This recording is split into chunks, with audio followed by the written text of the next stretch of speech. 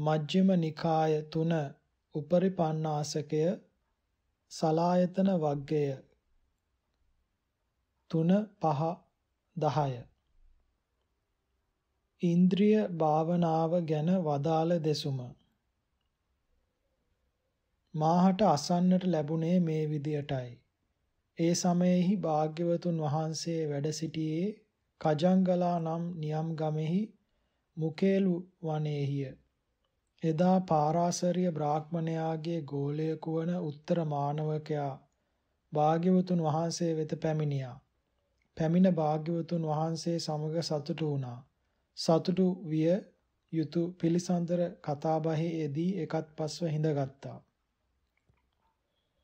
එකත් පස්ව හුන් පාරාසරිය අතවැසි උත්තර මානවකයා හට භාග්‍යවතුන් වහන්සේ මේ වදාලා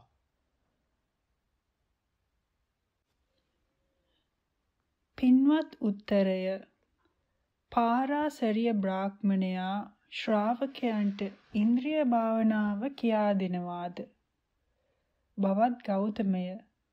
පාරාසරිය බ්‍රාහ්මණයා ශ්‍රාවකයින්ට ඉන්ද්‍රිය භාවනාව කියා දෙනවා. පින්වත් උත්තරය. පාරාසරිය බ්‍රාහ්මණයා ශ්‍රාවකයන්ට ඉන්ද්‍රිය භාවනාව කියා දෙන්නේ කොහොමද? බවත් ගෞතමයන් වහන්ස මෙහිලා ඇසින් රූපයක් දකින්නේ නැත්නම් කනින් ශබ්දයක් ඇසන්නේ නැත්නම් බවත් ගෞතමයන් වහන්ස ඔන්න ඔය විදිහටයි පාරාසරිය බ්‍රාහ්මණයා ශ්‍රාවකයින්ට ඉන්ද්‍රිය භාවනාව කියා දෙන්නේ. පින්වත් උත්තරය. ඒක එහෙමනම් පාරාසරිය බ්‍රාහ්මණයාගේ වචනේ හැටියට අන්ධ කෙනා ඉන්ද්‍රියන් වඩලයි ඉන්නේ. ඒ වගේම බිහිරි තනත්තාත් ඉන්ද්‍රියන් වඩලයි ඉන්නේ. පින්වත් උත්තරය අන්ධ කෙනා ඇසෙන් රූපයක් දකින්නේ නැහැ නෙව. බිහිරි කෙනා කනෙන් ශබ්දයක් අහන්නේ නැහැ නෙව. මෙසේ වදාළ විට පාරාසරිය අතවැසි උත්තර මානවකයා නිශ්ශබ්ද වුණා. හැකිලුණා. ඇඟ පහළට හරවා ගත්තා. මුහුණ යටට හරවා ගත්තා. වැටහීම් රහිත වූ සිතවිල්ලෙන් හිටියා. එවිට භාග්‍යවතුන් වහන්සේ නිශ්ශබ්දව සිටින හැකිලී ගිය ඇඟ පහළට හරවාගත් මුහුණ යටට හරවාගත් වැටහීම් රහිත සිතුවිල්ලෙන් සිටින ඒ පාරාසරිය අතවැසි උත්තර මානවකයා දෙස බලා ආයුෂ්මත් ආනන්දයන් වහන්සේ අමතා වදාලා පින්වත් ආනන්ද පාරාසරිය බ්‍රාහ්මණයා ශ්‍රාවකයින්ට ඉන්ද්‍රිය භාවනාව කියා දෙන්න වෙනත් විදිහකටයි.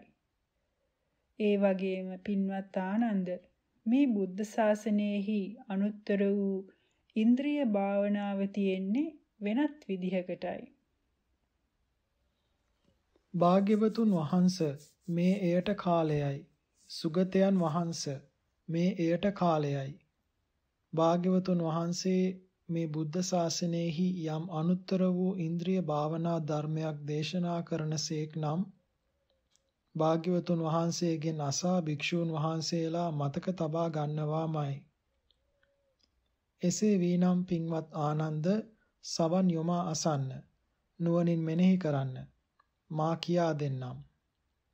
එසේය ස්වාමීනි කියා ආයුෂ්මත් ආනන්දයන් වහන්සේ භාග්‍යවතුන් වහන්සේට පිළිතුරු දුන්නා. භාග්‍යවතුන් වහන්සේ මෙය වදාලා පින්වත් ආනන්ද ආර්ය විනයෙහි අනුත්තර වූ ඉන්ද්‍රිය භාවනාව තිබෙන්නේ කොහොමද? පින්වත් ආනන්ද මේ ශාසනයෙහි භික්ෂුවට ඇසෙන් රූපයක් දැක්ක විට කැමැත්තක් ඇති වෙනවා. අකමැත්තකුත් ඇති වෙනවා. ඒ වගේම මනාප අමනාප දෙකම ඇති වෙනවා. එතකොට ඔහු මෙහෙමයි දැනගන්නේ මට මේ කැමැත්තක් උපන්නා අකමැත්තක් උපන්නා මනාප අමනාප බව උපන්නා මේකත් හේතුඵල දහමින් හැදෙන දෙයක් ගොරෝසු දෙයක් පටිච්ච සමුප්පාදයෙන් හැදුන දෙයක්. ඒ නිසා යම් උපේක්ෂාවක් ඇද්ද එයයි ශාන්ත එයයි ප්‍රනීත කියලා. ඉතින් එතකොට ඔහු තුල උපන් කැමැත්තත් උපන් අකමැත්තත් උපන් මනාප අමනාප බවත් නිරුද්ධ වෙනවා. උපේක්ෂාව තුල පිහිටනවා. පින්වත් ආනන්ද ඒක මේ වගේ දෙයක්. පුරුෂයෙක් ඇස්සර බලා ආයමත් ඇස් පියා ගන්නවද? ඇස් පියාගෙන ආයමත් ඇස් ඇර බලනවද? පින්වත් ආනන්ද අන්න ඒ වගේ තමයි යම් භික්ෂුවකට ඔය විදිහට වේගයෙන් ඔය විදිහට ඉක්මනින් ඔය විදිහට සුළු මහන්සියකින් උපන් කැමැත්තත් උපන් අකමැත්තත් උපන් මනාප අමනාප බවත් නිරුද්ධ වෙනවාද? උපේක්ෂාව පිහිටනවාද? පින්වත් ආනන්ද ආර්ය විනේහි ඇසින් දත යුතු රූපයන් පිළිබඳව අනුත්තර වූ ඉන්ද්‍රිය භාවනාව කියන්නේ මෙයටයි. පින්වත් ආනන්ද ආර්ය විනේහි අනුත්තර වූ ඉන්ද්‍රිය භාවනාව ගැන තවදුරටත් කියනවා නම් පින්වත් ආනන්ද මේ ශාසනයෙහි භික්ෂුවට කනෙන් ශබ්දයක් ඇසුණු විට කැමැත්තක් ඇති වෙනවා. අකමැත්තකුත් ඇති වෙනවා. ඒ වගේම මනාප අමනාප දෙකම ඇති වෙනවා. එතකොට ඔහු මෙහෙමයි දැනගන්නේ. මට මේ කැමැත්තක් උපන්නා. අකමැත්තක් උපන්නා. මනාප අමනාප බව උපන්නා. මේකත් හේතුඵල දහමෙන් හැදෙන දෙයක් ගොරෝසු දෙයක් පටිච්ච සමුප්පාදයෙන් හැදුන දෙයක්. ඒ නිසා යම් උපේක්ෂාවක් ඇද්ද එයයි ශාන්ත, එයයි ප්‍රනීත කියලා. ඉතින් එතකොට ඔහු තුල උපන් කැමැත්තත්, උපන් අකමැත්තත්, උපන් මනාප අමනාප බවත් නිරුද්ධ වෙනවා. උපේක්ෂාව පිහිටනවා. පින්වත් ආනන්ද ඒක මේ වගේ දෙයක්. ශක්තිමත් පුරුෂයෙක් සුළු උත්සාහයකින් අසුරක් ගසන්නේද? පින්වත් ආනන්ද අන්න ඒ වගේ තමයි යම් භික්ෂුවකට ඔය විදිහට වේගයෙන් ඔය විදිහට ඉක්මනින් ඔය විදිහට සුළු මහන්සියකින් උපන් කැමැත්තත් උපන් අකමැත්තත් උපන් මනාප අමනාප බවත් නිරුද්ධ වෙනවාද? උපේක්ෂාව තුල පිහිටනවාද? පින්වත් ආනන්ද ආර්ය විනේහි කනින් දති යුතු ශබ්දයක් පිළිබඳව අනුත්තර වූ ඉන්ද්‍රිය භාවනාව කියන්නේ මෙයටයි. පින්වත් ආනන්ද ආර්ය විනේහි අනුත්තර වූ ඉන්ද්‍රිය භාවනාව ගැන තව දුරටත් කියනවා නම් පින්වත් ආනන්ද මේ ශාසනයෙහි භික්ෂුවට නාසයෙන් ගඳ සුවඳක් දැනගත් විට කැමැත්තක් ඇති වෙනවා. අකමැත්තකුත් ඇති වෙනවා. ඒ වගේම මනාප අමනාප දෙකම ඇති වෙනවා. එතකොට ඔහු මෙහෙමයි දැනගන්නේ. මට මේ කැමැත්තක් උපන්නා. අකමැත්තක් උපන්නා. මනාප අමනාප බව උපන්නා. මේකත් හේතුඵල දහමින් හැදෙන දෙයක්. ගොරෝසු දෙයක්. පටිච්ච සමුප්පාදයෙන් හැදුණු දෙයක්. ඒ නිසා යම් උපේක්ෂාවක් ඇද්ද එයයි ශාන්ත එයයි ප්‍රනීත කියලා ඉතින් එතකොට ඔහු තුල උපන් කැමැත්තත් උපන් අකමැත්තත් උපන් මනාප අමනාප බවත් නිරුද්ධ වෙනවා. උපේක්ෂාව තුල පිහිටනවා. පින්වත් ආනන්ද ඒක මේ වගේ දෙයක්. නෙළුම් කොළයක් මදක් ඇලකල විට එය මත තිබූ දිය බින්දු පෙරලී වැටෙනවාද පිහිටා නොසිටිනවාද පින්වත් ආනන්ද අන්න ඒ වගේ තමයි යම් භික්ෂුවකට ওই විදිහට වේගයෙන් ওই විදිහට ඉක්මනින් ওই විදිහට සුළු මහන්සියකින් උපන් කැමැත්තත් උපන් අකමැත්තත් උපන් මනාප අමනාප බවත් නිරුද්ධ වෙනවාද උපේක්ෂාව තුල පිහිටනවාද පින්වත් ආනන්ද ආර්ය විනේහි නාසයෙන් දත යුතු ගඳ සුවඳ පිළිබඳව අනුත්තර වූ ඉන්ද්‍රිය භාවනාව කියන්නේ මෙයයි. පින්වත් ආනන්ද ආර විනේහි අනුත්තර වූ ඉන්ද්‍රිය භාවනාව ගැන තවදුරටත් කියනවා නම් පින්වත් ආනන්ද මේ ශාසනයෙහි භික්ෂුවට දිවෙන් රසයක් දැනගත් විට කැමැත්තක් ඇති වෙනවා අකමැත්තකුත් ඇති වෙනවා. කැමැත්ත අකමැත්ත ඒ වගේම මනාප අමනාප දෙකම ඇති වෙනවා. එතකොට ඔහු මෙහෙමයි දැනගන්නේ. මට මේ කැමැත්තක් උපන්නා. අකමැත්තක් උපන්නා. මනාප අමනාප බව උපන්නා. මේකත් හේතුඵල ධමයෙන් හැදෙන දෙයක්. ගොරෝසු දෙයක්. පටිච්ච සමුප්පන්න දෙයක්. ඒ නිසා යම් උපේක්ෂාවක් ඇද්ද එයයි ශාන්ත. එයයි ප්‍රනීත කියලා ඉතින් එතකොට ඔහු තුල උපන් උපේක්ෂාව එතකොට ඔහු තුල උපන් කැමැත්තත් උපන් අකමැත්තත් උපන් මනාප අමනාප බවත් නිරුද්ධ වෙනවා. උපේක්ෂාව තුල පිහිටනවා. පින්වත් ආනන්ද ඒක මේ වගේ දෙයක්. ශක්තිමත් පුරුෂයෙක් දිව අගට කෙලපිඩක් කැටිකොට ඊතා පහසුවෙන් විසි කරනවාද? පින්වත් ආනන්ද අන්න ඒ වගේ තමයි යම් භික්ෂුවකට ඔය විදිහට වේගයෙන් ඔය විදිහට ඉක්මනින් ඔය විදිහට සුළු මහන්සියකින් උපන් කැමැත්තත් උපන් අකමැත්තත් උපන් මනාප අමනාප බවත් නිරුද්ධ වෙනවද? උපේක්ෂාව තුල පිහිටනවද? පින්වත් ආනන්ද ආර විනේහි දිවෙන් දත යුතු රසයන් පිළිබඳ වූ අනුත්තර ඉන්ද්‍රිය භාවනාව කියන්නේ මෙයටයි. පින්වත් ආනන්ද ආර්ය විනේහි අනුත්තර වූ ඉන්ද්‍රිය භාවනාව ගැන තව දුරටත් කියනවා නම් පින්වත් ආනන්ද මේ ශාසනයෙහි භික්ෂුවට කයින් පහසක් ලැබෙන විට කැමැත්තක් ඇති වෙනවා අකමැත්තකුත් ඇති වෙනවා. ඒ වගේම මනාප අමනාප දෙකම ඇති වෙනවා. එතකොට ඔහු මෙහෙමයි දැනගන්නේ. මට මේ කැමැත්තක් උපන්නා අකමැත්තක් උපන්නා මනාප අමනාප බව උපන්නා. මේකත් හේතුඵල දහමින් හැදෙන දෙයක් ගොරෝසු දෙයක් පටිච්ච සමුප්පාදයෙන් හැදෙන දෙයක්.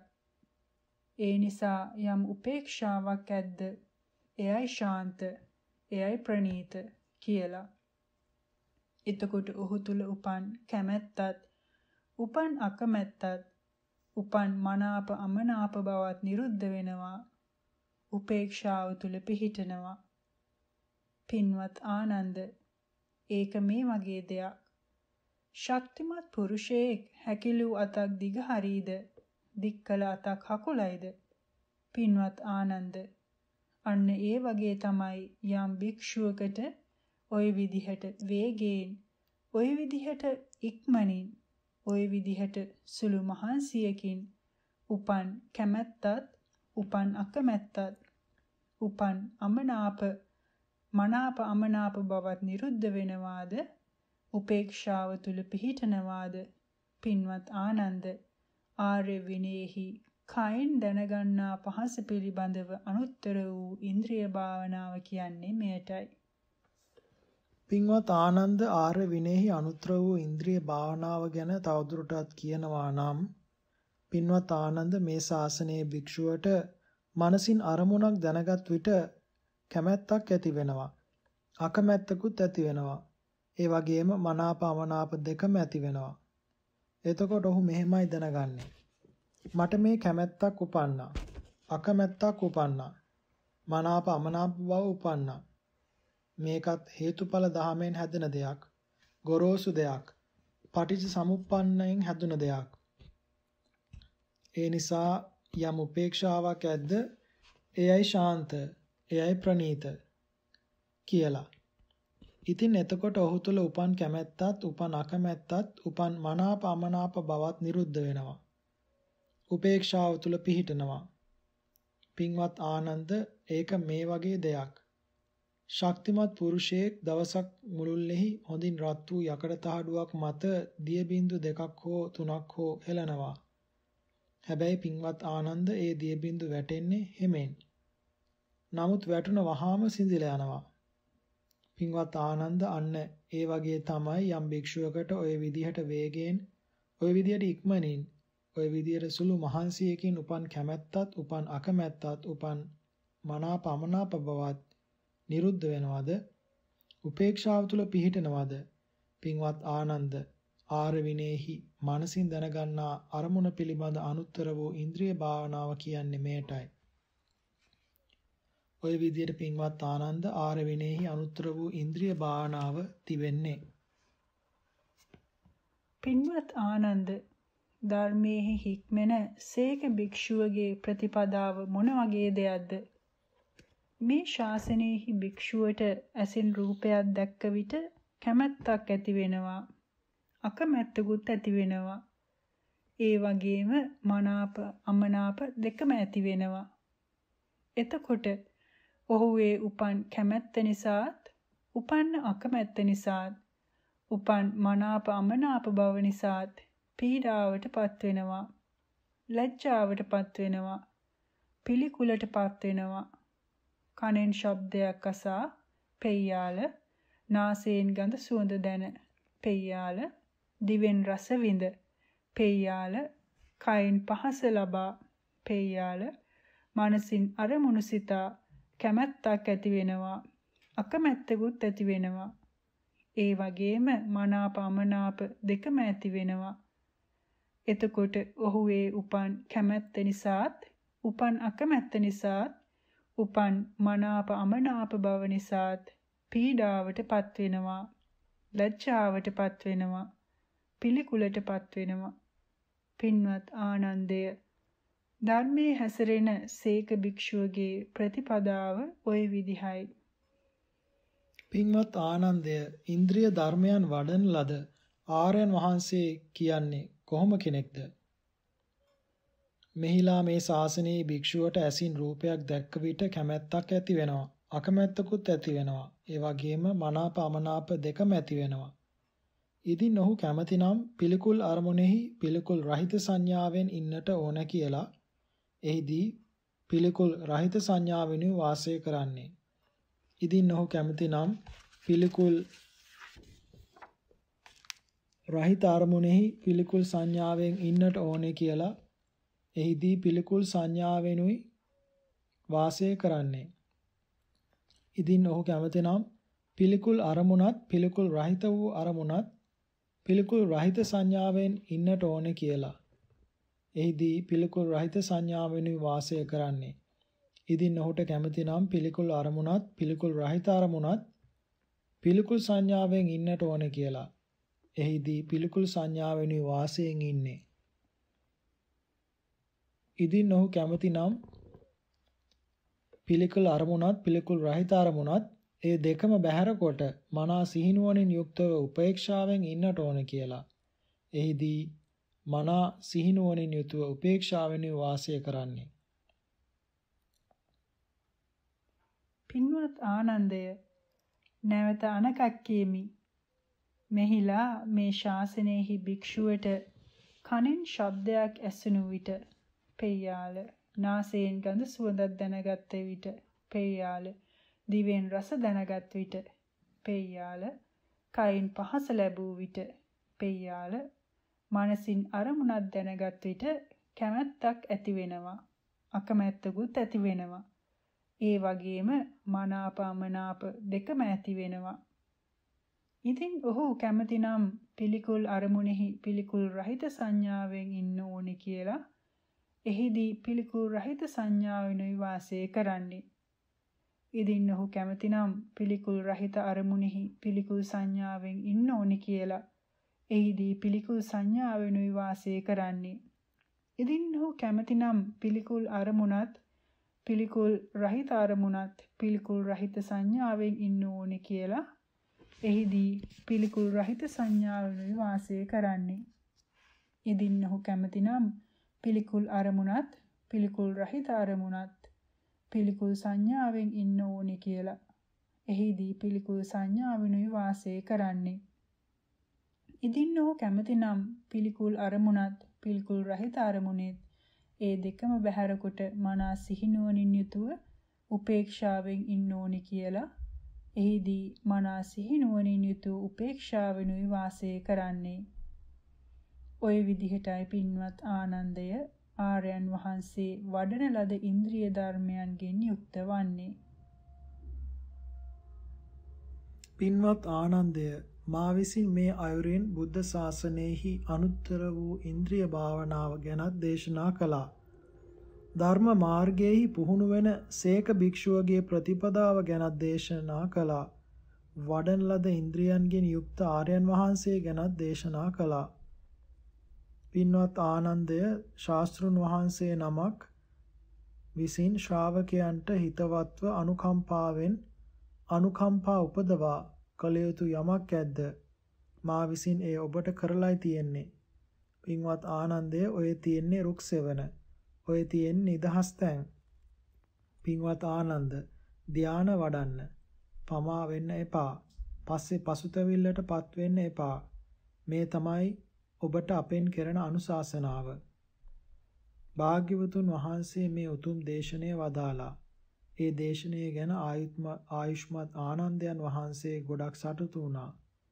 භාග්‍යවතුන් වහන්සේ වදාළ මේ දේශනය සතුටින් පිළිගත්තා. සාදු සාදු සාදු ඉන්ද්‍රිය භාවනාව ගැන වදාළ දෙසුම නිමා විය.